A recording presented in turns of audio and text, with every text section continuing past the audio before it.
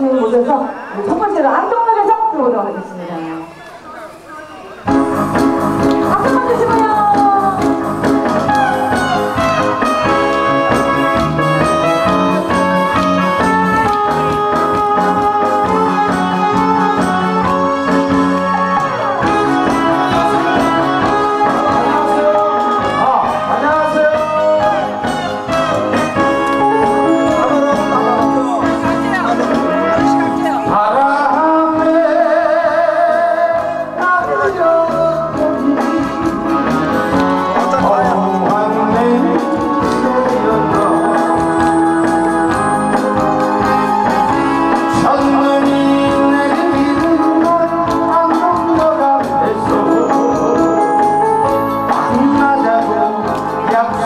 Thank you.